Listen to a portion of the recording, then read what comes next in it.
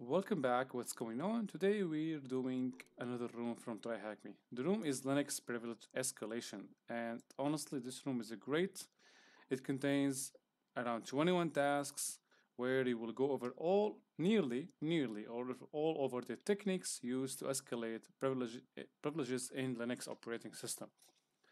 So basically, in this video, we're going over task 2, 3, 4, and 5. We're going to demonstrate the techniques and answer the questions. So let's get started and move over to my virtual machine. So let's take this on the right.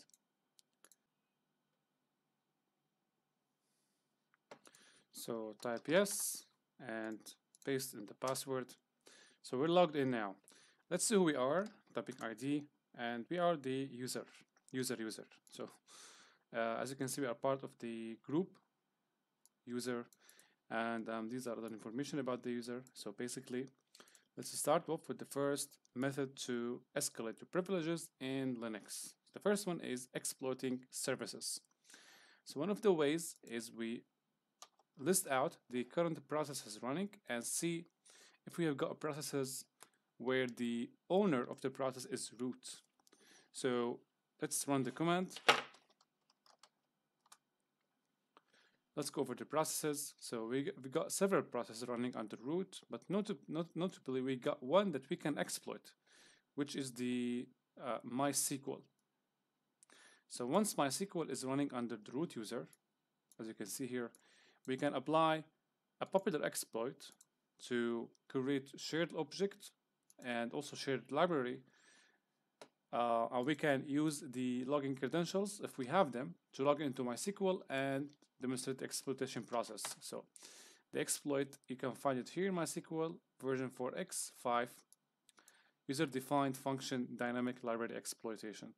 The steps are outlined here, but we're gonna uh, demonstrate them practically live on the machine.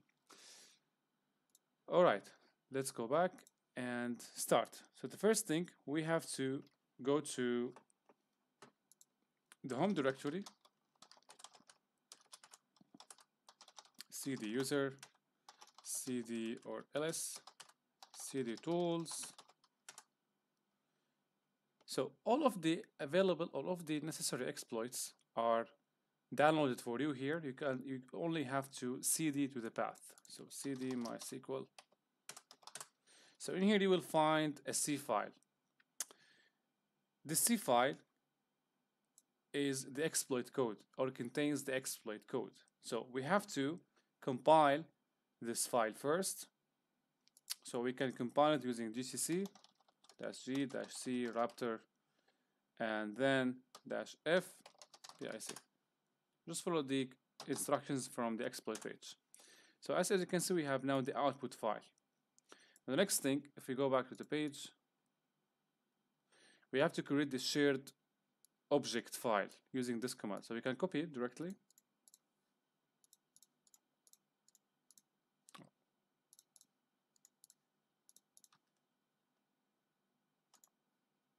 paste.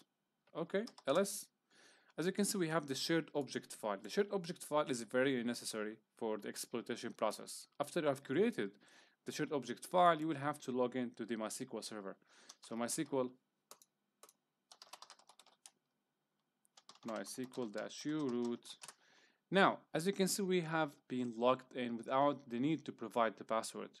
So another problem or another uh, condition to exploit or to perform this exploit is that the root user shouldn't have the password shouldn't have a password to log in into MySQL.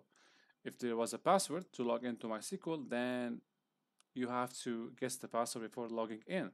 So once you are logged into the MySQL, now you go over the exploitation process. So basically first, we use the MySQL database and then we create table so here we create a table called foo. Now after that, we perform this command. Technically in this command, we are loading a file or creating, you know, a file. So basically we can do that. And since the MySQL is running under root, there will be no problem in writing files. So MySQL now will be able to insert values and use the shared object file that we have created earlier here. Next, we select everything from the table we have just created and dump all of the values into the shared object file. Bad syntax, yes, we forgot the S. Okay. Last step is we could use the function to perform some system commands. The first one, so create function, do system, returns integer, so name, raptor, UDF. That's the first one. And lastly, we will use the do system again, all right, or use the function one more time to copy the bin bash into a file we create under the temp directory. This file will execute bin bash and we'll give it permissions, all done within MySQL. That's the beauty of UDF exploits. All right, now we are done with the MySQL. Let's exit and head directly to the temp directory. We will see our file created here. So once executing the file, we will be able to obtain shell or another shell. This time will be root shell. rm uh, name execute first shell.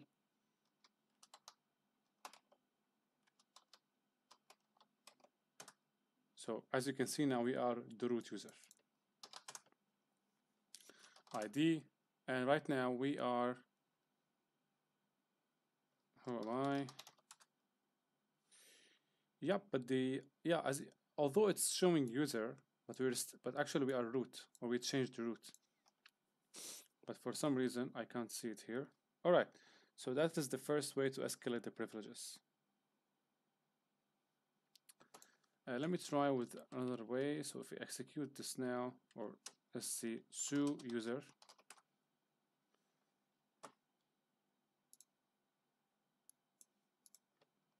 Password 321 okay. Um, let's do now root.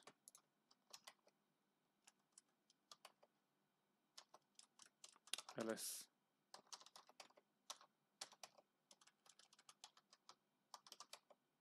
dash p id yeah now it worked. As you can see we are part of the, the gid has changed to zero which means we are the root user now.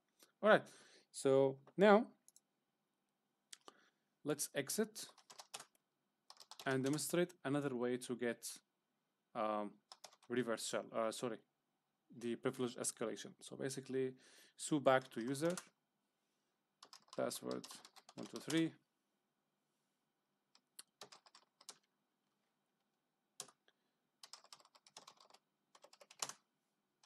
clear. All right, the next step is to examine if the etc shadow file has read uh, or, or is readable by another user. So ls-la etc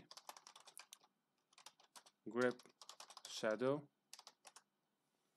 So if you look at the shadow file, as you can see, it is readable by the group shadow. So if we try to read the file by saying cat etc shadow you'll be able to see the content of the file. And each line, uh, as you can see in the file, each line represents a user. So for example, the user here is user and the password hash can be found between the first and the second column. So the first one is here, the second one is here. Uh, the first one is here, and here is the second one. So which means that this one is the hash or the password hash of the user. Likewise, with the root user, we start at the first column and end with the second column. This one, or this is the password hash for the root user. So what we can do now, we can just copy that and use our machine or your machine say uh, cd desktop try hack me nano hash. Uh, what five?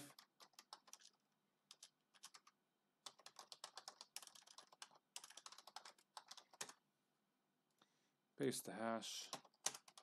Use now join the ripper so here I'm gonna use the file hash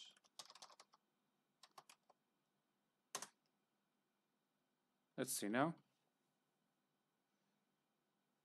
So the password has been found and it is password 123. Let's try now to log into the root user. su root password is password 123 and now we're logged in as a root user. ID root. That is the second way of escalating the privileges. Let's see now the questions we have to answer. What is the root user's password hash? So we've seen that the password hash is, oh, let's cat it from here, cat, cat5.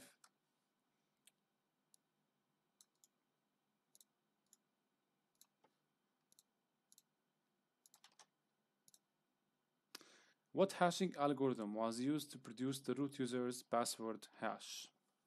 What hashing algorithm was used to produce the root user's password hash?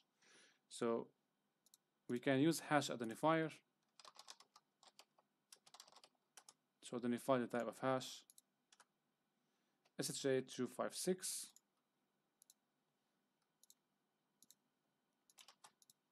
oh. John Draper should automatically identify it when cracking. Let's see John Draper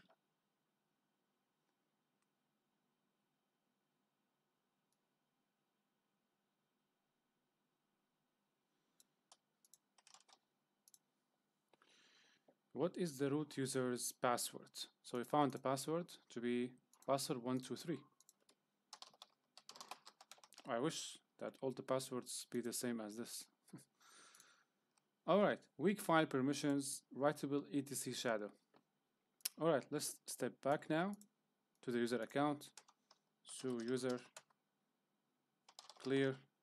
So the next way or the next method is to look if the etc shadow file can be writable okay so so that when it is readable by the regular user we can grab the hash and crack it. But what if the etc shadow file is writable? So it will be more easier to ch make changes on the file rather than just copy the hashes and waste your time cracking the hash.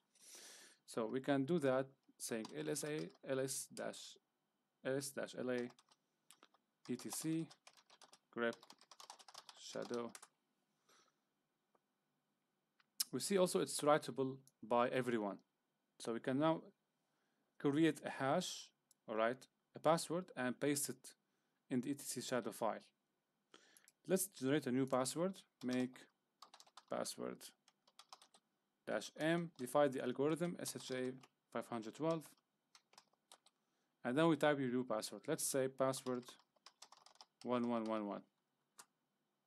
This is the hash for your password.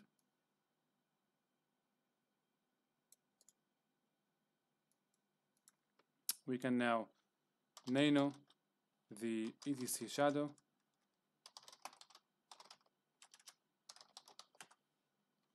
and change the root user password. Make sure to put the hash in the right place just before the second column. So start from here.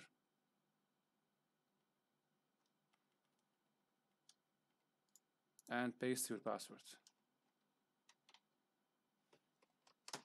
Change, save changes. Now you can su to the root user with your new password, which is password 111. And now we're logged in, right? So that is the third way. So we exploited services running under the root user. We also exploited the fact that the shadow file was readable by everyone and also writable by everyone. Now we will examine the password file or etc password file ls-la etc grep pass.wd. So let's take a look. This is the password file. As you can see, it is readable and writable by everyone. So you can create a password and just the same way you did with the shadow file, you will do it with the password file. So let's use open SSL pass wd and say password 112 and here you have the root account. Replace x with the password. And login. Oh actually we are the root account. Let me sudo user. Now let's switch to the root account. So root. Type the new password we have created earlier. Password 112 and we're logged in. All right let's see the questions. So run the id command as the new root user. What is the result? Run the id and just copy these. The result is you are the root user. That's the result. So we have explored four ways or actually one two three four four ways to escalate the privileges in linux operating system i hope you find that enjoyable and in the next videos we will go over the rest of the techniques to cover them in depth and um, hopefully you will find them helpful. So thank you for watching